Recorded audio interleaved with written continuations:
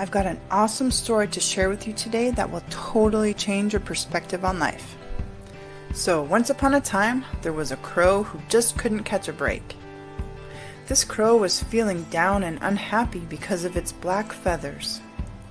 Now, one day, a wise monk spotted the sorrowful crow shedding some tears.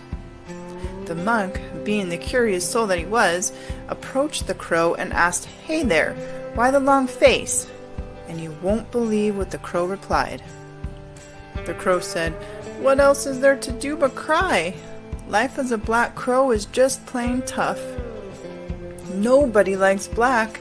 Nobody likes me. No one even considers having a crow as a pet. Can you imagine that? I spend most of my time rummaging through garbage cans. I mean, come on. Why did God make me a crow? I despise my life.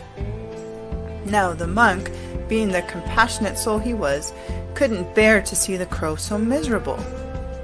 So he proposed a deal. Listen up, my feathered friend, said the monk. If you could choose to be anything else, what would it be? And you know what the crow wished for? A swan. Oh, the elegance and beauty of a white swan, the symbol of peace. The monk agreed to grant the crow's wish, but with one condition. He wanted the crow to meet a real swan before the transformation. Off went the crow, excited and eager to meet the stunning swan. When the crow finally encountered the swan, he couldn't help but gush with admiration. Wow, my brother, what an extraordinary color you have! You look absolutely amazing! You must be the happiest creature alive. The swan, however, had a surprise response. Happiness? Who says I'm happy?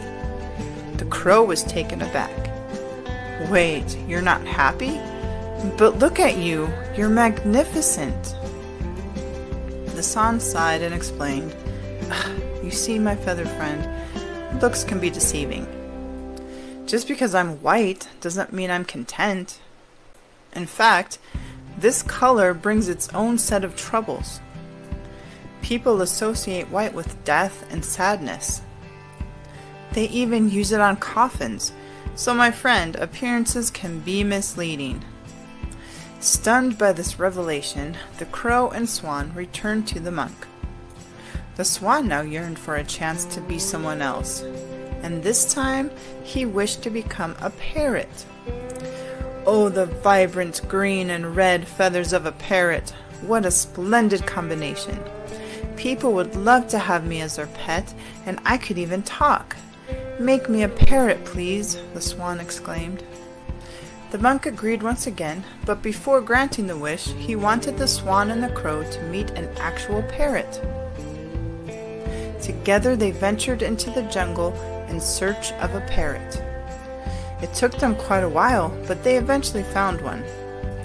Overwhelmed by the parrot's beauty, the crow and swan praised the parrot's colorful plumage. Wow, you are simply breathtaking. People must adore you. Your life must be full of joy, they exclaimed. But guess what? The parrot wasn't as thrilled as they assumed. Who told you I'm happy? the parrot replied. The crow and swan were dumbfounded. Wait, you're not happy?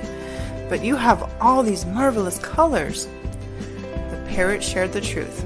The problem lies in my color. Sure, green is beautiful, but it's also the color of the jungle and trees. You see, you were searching for me for so long, but my color helped me blend in. So, my friends, colors can bring their own set of challenges. With heavy hearts, the trio returned to the monk. At this point, they were desperate to know the secret to true happiness. The monk asked them, Okay, if not the swan or the parrot, who do you think is the happiest creature in the world? The parrot and swan looked at the crow and said, It's you! You are the happiest animal in the world. Shocked, the crow questioned how it could be happy. The swan and parrot explained. Have you ever heard of a chicken burger or a chicken sandwich? The crow nodded, recognizing the popular food items. But have you ever heard of a crow burger or a crow sandwich? The crow shook its head. Exactly. Nobody sells crow feathers or crow meat. You don't have any enemies or dangers lurking around. You live a peaceful life, my friend. So in reality, you are the happiest creature in the world. Feeling enlightened, the crow realized that he had been comparing himself unnecessarily. He understood that true happiness comes from within and that he should never measure his worth based on others' opinions or appearances. Each one of us is unique, and that's what makes us special. So remember, never compare yourself to others because no one can compare themselves to you. You are extraordinary just the way you are. Thanks for watching. If this story has touched you and made you ponder what truly brings happiness into your life, make sure to hit that subscribe button and share this video with your loved ones.